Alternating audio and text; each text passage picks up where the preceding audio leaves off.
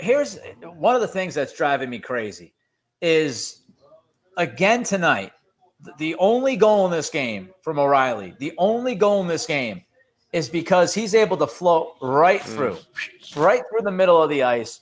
No one puts a body on him. And that happened not once, but twice in game four Tarasenko's goal and then O'Reilly's goal. And, you know, you look at that, Keefe, and you say, man, the Bruins are not physical enough in front of Tuukka. They don't put a body on anyone. They let these guys float right to the net in case there's a rebound. And, and you would think that they would have learned yeah. from their mistakes in game four, letting that happen twice. And then yet again tonight in a game five, they do the same damn thing.